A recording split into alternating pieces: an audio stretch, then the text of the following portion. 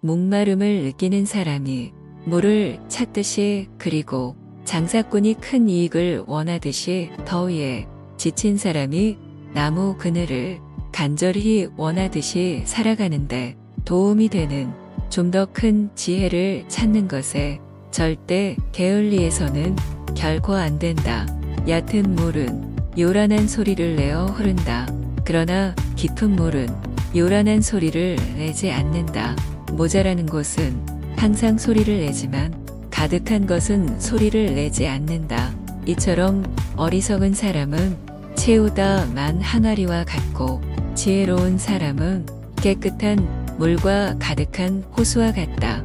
현재에 얻어야 할 것만을 따라 다른 지혜로 온 힘을 다할 뿐 다른 생각을 하지 않는다. 전투에서 이기는 것보다 자신과의 싸움에서 이기는 것이 훨씬 값지다.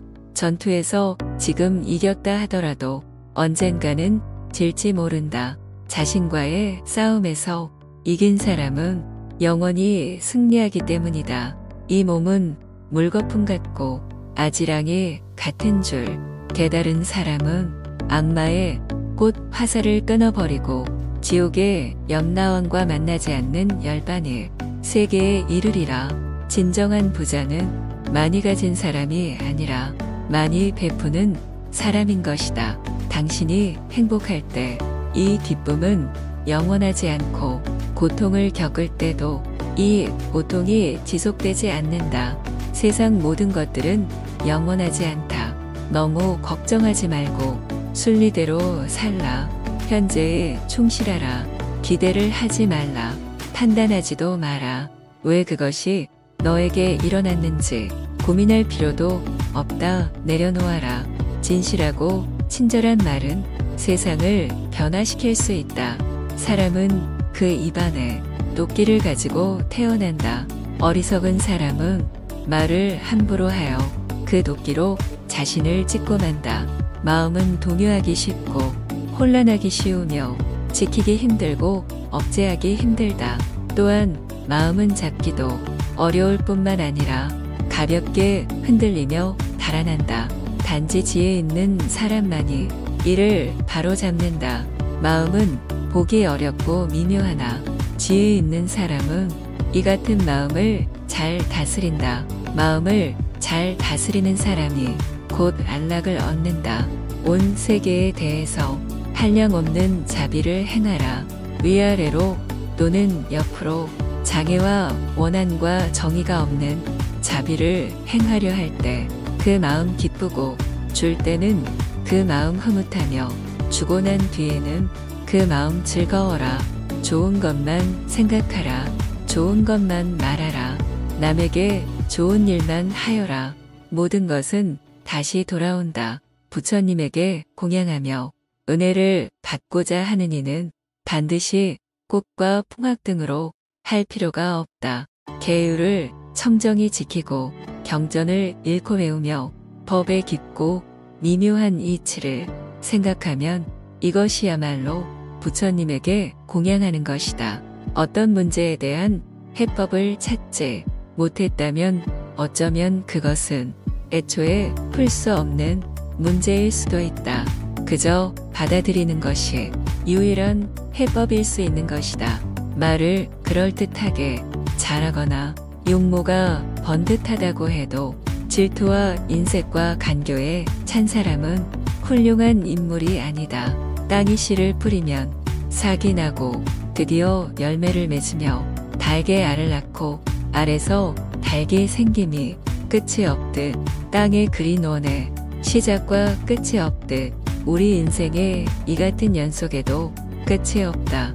마을과 숲속, 낮은 곳이나 높은 곳 어디든 성자가 머무시는 곳에는 기쁨이 있다. 하는 일마다 제대로 되는 일이 없다면 남에 베풀지 않았기 때문입니다. 재산이 없어도 줄 수 있는 일곱 가지는 누구나 다 있는 것이다. 첫째, 부드럽고 정다운 얼굴로 남을 대하는 것이다. 둘째, 사랑의 말과 칭찬의 말을 하는 것이다. 셋째, 마음의 문을 열고 따뜻한 마음을 주는 것이다. 넷째, 보이를 담은 눈으로 사람을 보는 것처럼 눈으로 베푸는 것이다. 다섯째, 몸으로 남의 짐을 들어준다거나 이를 돕는 것이다. 여섯째, 때와 장소에 맞게 자리를 내줘 양보하는 것이다. 일곱째, 굳이 묻지 않고 상대 마음을 헤아려 알아서 도와주는 것이다. 영혼과 정신을 위하여 마음먹은 사람은 깜깜한 집에 등불을 들고 가는 사람과 같다. 힘들고 어렵더라도 꿋꿋이 이겨내기만 하면 영혼은 밝아질 것이다. 고요한 마음에는 분노가 없다. 스스로 그 목숨이 정열을 제어하고 영향을 베풀었는지 내가 얼마나 품위 있게 삶을 살았는지 그리고 너의 운명이 아닌 것들을 얼마나 영광스럽게 포기했는지다. 우리의 인생을 방해하는 두 가지가 있다. 하나는 어느 것도 끝내지 않는 것이 다른 하나는 어느 것도 시작하지 않은 것이다. 당신이 사랑하는 삶을 살아라. 당신이 사는 삶을 사랑하라. 인생이란 폭풍우가 지나가기 기다리는 것이 아니라 빛 속에서 춤을 추는 것이다. 벙어리처럼 침묵하고 임금처럼 말하며 눈처럼 냉정하고 불처럼 뜨거워라. 너희는 저마다 자신을 등불로 삼고 자기를 의지하라. 또한 진실을 등불로 삼고 진리를 의지하라. 이 밖에 다른 것에 의지해서는 안 되느니라. 모든 것은 더 덧나니 게으르지 말고 부지런히 정진하라. 있던 건 지나가고 없던 건 돌아온다. 곧 지나갈 순간들을 너무 두려워하며 마음 쓰지 마라. 너의 마음이 밝으면 해가 뜨고 너의 마음을 접으면 달도 진다. 타인이 널 좋아하도록 너 자신을 바꾸지 말라. 오로지 솔직한 너 자신이 된다면 올바른 사람은 진짜 너의 모습을 사랑하게 될 것이다. 우리 인생의 최고 목표는 다른 사람들을 돕는 것이다. 당신이 다른 사람들을 도울 수 없다면 최소한 다른 사람들을 해치지 말라. 지나간 일에 대해 언제까지나 번뇌하거나 아직 찾아오지 않는 일을 두고 계속 걱정한다면 인간은 마른 풀처럼 될 것이다.